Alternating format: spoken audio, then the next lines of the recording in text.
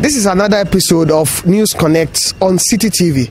The National Council for Tertiary Education has directed all public universities to take off the names of lecturers who are above 65 years from government payroll.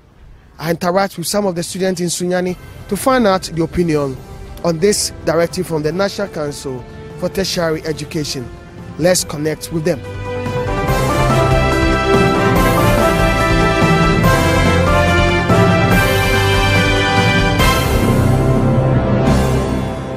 Um, I think the government should leave the lecturers, the post-retired lecturers, contract lecturers, to be on the payroll at age of 55, because you see, um, education, if not talented, educating someone, you need to be really experienced, and those lecturers getting to that age, like 60 and above 60, might have reached the apex of their academic maturity and they are really experienced in how to educate someone.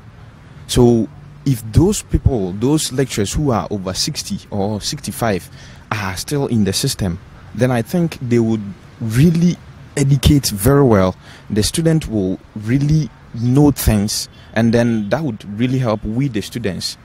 Also, um, getting these young ones who are not really matured, who are not really experienced into teaching, would bring down some of the knowledge of we the students. If those who are in this free SHS that population is to come add to we here right now then we still need more lecturers so i'm thinking those lecturers who are 65 and ab- even above should work if only they are fit. I don't know of any, but I think when they are that old, they even some are there. They are not up to that age, but we are not. We are struggling with them. So I don't see the situation whereby we should just let them stay there and pollute our mind. I'm not saying they are not showing us what they need to show us, but because they've reached that stage, they have certain attitudes that when they show to students is is not quite appealing at all.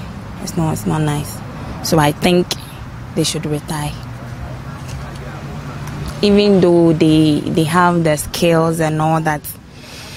But I think you know how you relate to somebody, talk to the person, it it matters. It's not only you giving the person the idea of something, but how you relate. Some don't have that kind of human relationship.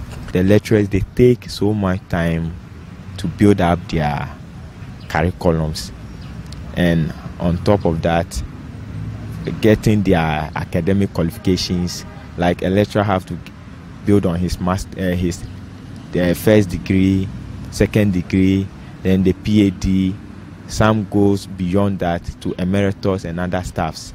And all these academic qualifications it take years to gain them. And before you attain that level meaning you are having an experience and most of them before you get there you are old. So the experience is there. Though i think they are coming up with this point to reduce unemploy- uh, unemployment in the system but maturity and experience in the education field also counts. Because they are teaching intellectuals or students to build up the nation. So if people teaching students to build up the nation are not having experience, then there's a question mark.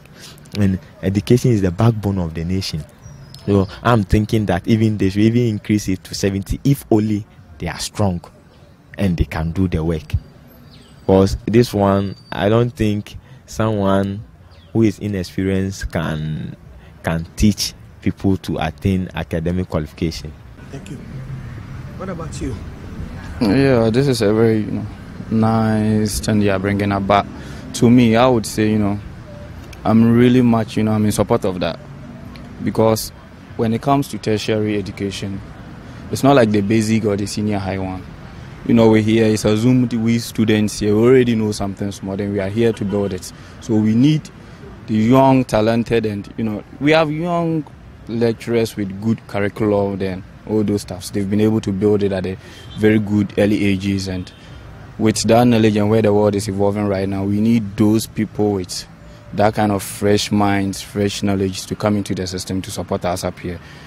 And one thing too I would like to add is when it comes to lecturing as we know here, it's really something, it's really something we should consider because the old man, let's say at the age of 65, we believe you are old. And some people would say your future, you know, you have no more future because you can't think of making other plans. So we need a young guys below that to come into the system because they've got much, you know, they are really thinking of stuffs. They've really got a very big future and they are thinking to achieve a lot of stuffs. So I think with this and us, we have what is a poor employment systems and all those stuff. There's no more jobs. So I think the young ones coming in will really be serious in it because they know if they lose that, they've really lost their daily bread. So they would put effort in it to lecture. Do you have some in your department who are above 70? Yes, um, I know of some who are who are retired and are on contract working. What is their performance? They are good. They are very very good. They are really experienced. They teach. They don't even lecture. They teach not lecture they teach. And the young ones will just come because they just pay some pay their way through the school and they are not really experienced into teaching. They just come lecture and then go their way. But then those experienced ones would actually teach like they are really teaching kids. To me i think it's okay too because aged at 65 they are very very old and then they don't have that much energy to come and lecture for we the students to get the skills from them. And so when we have trained skilled personnel like the young men available to teach and lectures will be okay. Talking about employment and all those things. You see the knowledge we are impacting in the students is at stake here. It's really at stake. Now if we say we need to employ people and so we need to take those old ones who are above 65 and experienced out and then bring in the young ones who don't who can't really impact that much knowledge in, knowledge into students uh, is it is it going to help? No. I know of some lecturers some young young lecturers who some lecturers who are very young. Some just did their masters this year and they are not delivering at all as compared to the old lecturers in my department. Yes. So if we say because we want to employ, then the knowledge will be impacting in the students will be at stake, which should be the key thing here. Now, if they want us to graduate knowing nothing, then they can just decide to employ them and then put the experienced lecturers aside. But we should also consider this that we need to bring out good products, we need to bring out good people, good students, good graduates to work to the betterment of the nation. So we can't just say we need to. You see, if you teach for a while, I had the experience. I completed SHS and I taught for two years. My second year, I really liked the teaching more than my first year because I had already taught the first year and I knew something about what I was teaching again, and I knew, I developed ways I could use to teach to um, let the students know what I'm teaching better. So I think those lecturers, even if only the person is close to even 70 and is healthy, fit to teach, they should be allowed to teach and should be on the payroll.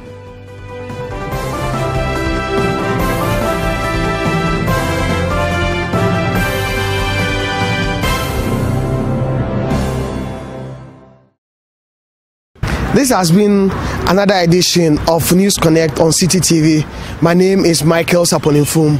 Let's connect another time. Bye bye.